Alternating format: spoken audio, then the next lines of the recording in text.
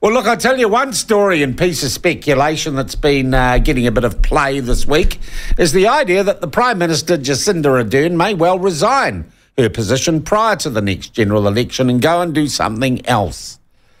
There are people, and most prime ministers of recent times have polarised people in support, and Jacinda Ardern is no exception to that. She gets told, uh, she gets called childish and, and immature names that I don't think are appropriate. And people, it would seem to me, either love her or hate her, though I am ambiguous. She is the Prime Minister. We respect the position, and as a journalist, you critique her uh, performance. But the person who kicked off what a lot of commentators privately have been saying was always going to be a story. The person who kicked this off with the column speculating on it um, was Bryce Edwards from the Democracy Democracy Project. Oh, so close to disinformation project. We must talk about the branding. Um, but Bryce, who, as I said, kicked this particular hornet's nest, uh, he joins us on the line now. Bryce, lovely to have you with us, mate. Oh, you couldn't resist. You couldn't resist, eh? All the rest oh, of us right. sit there going, oh, no, we won't write, write yet. We will wait till next year to write about the possibility of Jacinda standing down. And you just say, oh, no, it's a quiet week. There I go. Yeah, I wrote a column, put it out on, I think it was Tuesday.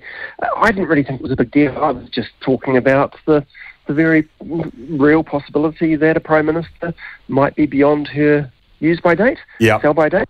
And, um, you know, this happens with all politicians, all political leaders, all prime ministers. Eventually they step down. Hubris, and, you know, Hubris um, comes along, bites you on the bum. Happened to Helen Clark. John Key jumped before he was pushed, didn't he? He, he did, and uh, he caught everyone by surprise. And I don't know if uh, Jacinda Ardern is going to catch us by surprise. I think the signs are already there that she's on her decline. And I don't think she'll want to wait round and be heavily defeated at um, maybe next election or have to go into coalition with Winston Peters and Tamari. Winston won't go into coalition with her, or that's what he's told me, Bryce. Um, well, yeah. But she doesn't want to be the leader of the opposition. no, she? she? doesn't. So okay, uh, and she's been through a lot. She's been through a oh, lot. Oh God. Um, okay. Have we got violence? Have we got any violence on on hand? What do you mean she's been through a lot? She's been the prime she, minister. The prime minister always goes through a lot, Bryce. It's part of the job. But she's had a few crises to deal with that have been probably keeping her awake at night. Well, okay. So uh, what did what did uh, John Key have? Oh, yeah, earthquakes, Pike River. They all yeah, have it, mate. It's part of the territory. Yeah and it makes them a bit older and wearier, and no one would begrudge anyone stepping down after five years of having to run the country. Cry me so, a river. Cry me a river, Bryce. um, Indeed. But look, look, are there look, any actual signs from her that this is a possibility?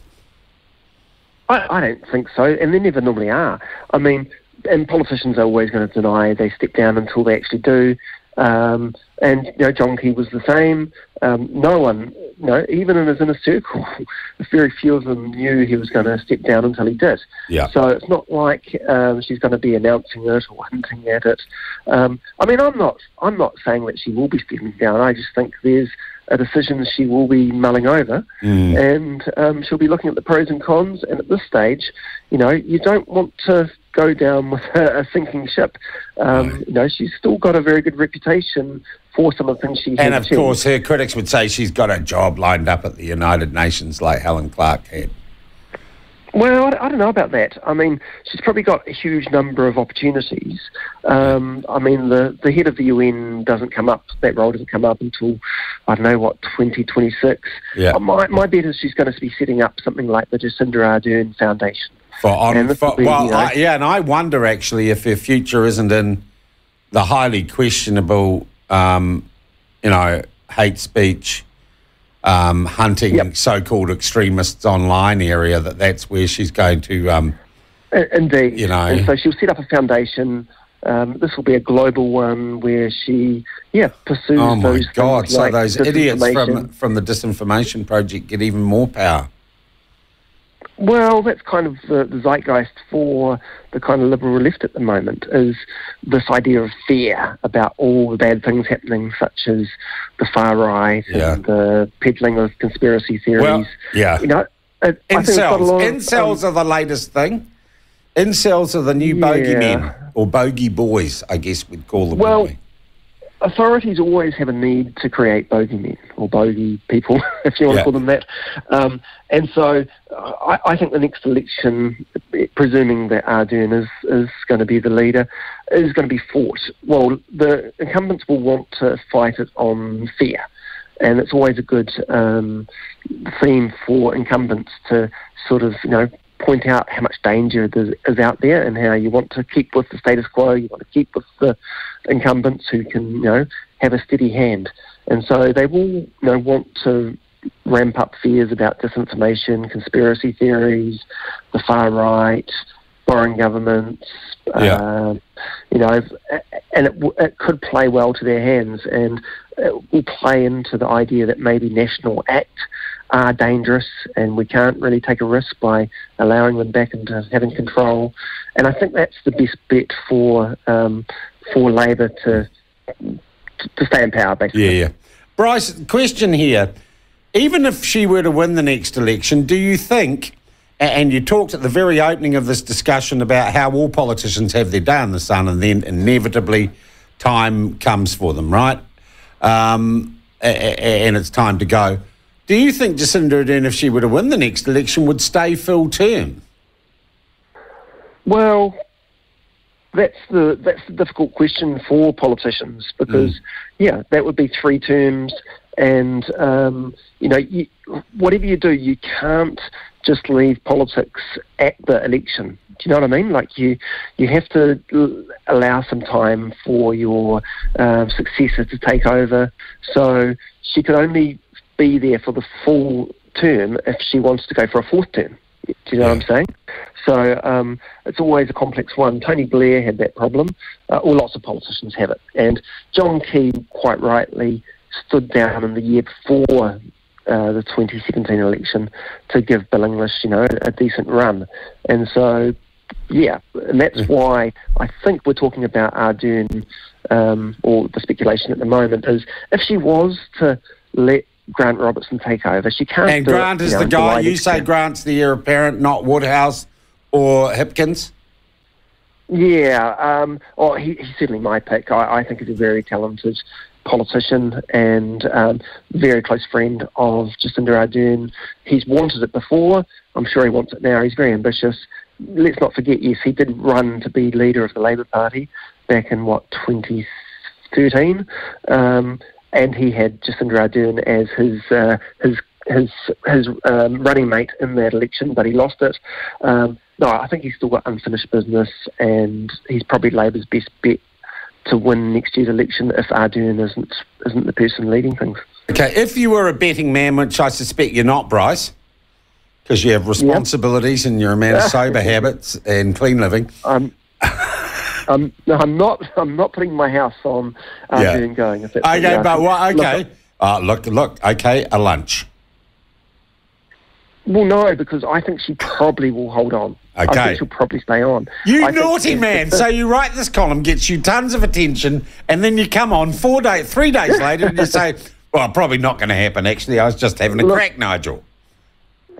Yeah, uh, look, I just think it's an interesting and it's an important issue. Yeah. You know, um, will she stand down? You know, um, and there's nothing wrong with speculating about that or discussing it. And there's people have put forward a lot of arguments, you know, to say that she won't. I mean, she's. Um, why would she step down now when um, you know she's got so much power and she's got so much responsibility? And if she left now, it really would leave Labour in the lurch, you know.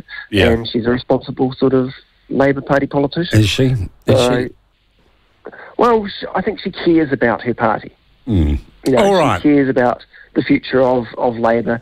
She wouldn't want to make things worse for Labour. Well, maybe she's thinking about this as she steers out across the um, expanse of ice down in Antarctica. Maybe this is uh, time for some Jacinda time to think about the future. Hey, Bryce, while I've got you here, we've had an interesting week and it's ongoing trying to get some answers or understand about an outfit called the Disinformation Project. Uh, and as I said, the Democracy Project and Disin- not not dissimilar names. uh, I know who you are, uh, and I know what you do, and you'll come on this program. The Disinformation Project are holding two seminars, one in Auckland and one in Wellington next year, uh, next month, for specifically invited news media, and let's just say the platform is specifically uninvited. Um, Martyn Bradbury, who I think you'd agree is a writer and, and, and journalist, he's been told that the Auckland um, event is full. What do you know about the Disinformation Project and, and the people behind it and its connection to the Prime Minister and the government? Oh, look, I'm a bit embarrassed to say I don't know a lot. Um, I followed the, the project a little bit, and I don't really find a lot of their work very rigorous. Um, it's, uh, you know, I think they feel that like they're on the right side of history, and all they have to do is point out that there's all these horrible things going on. And um, to me, it's not a particularly sort of academic venture. Um, it's kind of more of a moral crusade. And, okay, well, they're uh, based at universities, though it seems to me then, and, and they've told me they're not paid by the universities. I understand they have input into cabinet committees or into the Prime Minister's office. Do you think Yeah, we, we, we deserve to know more about who funds them and who they're accountable to, given that they get such an uncritical um, run too in legacy or mainstream media? Oh, of course, that, that's a no-brainer. Um, and if they're not up front, of course they need to be, definitely. Um, and they, they certainly are part of the, the zeitgeist, I think, of um, you know this current government.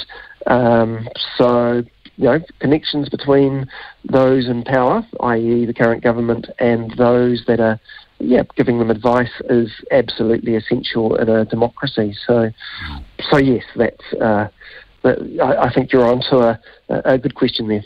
Okay. And Bryce, so so just for the record, you don't actually think Jacinda Ardern will resign prior to the next election, but you're saying it's a possibility worth thinking about. Oh, absolutely. Look, I don't know what's going to happen, um, but you know, there's, there's a very good chance it will. That's all I can really say. All right. Bryce, always lovely talking to you, mate. Have a great weekend. Thank you very much too. for your time today. That is Bryce Edwards from the Democracy uh, Project. There he goes. He he kicks it off, and then by Friday, oh no, not not so much.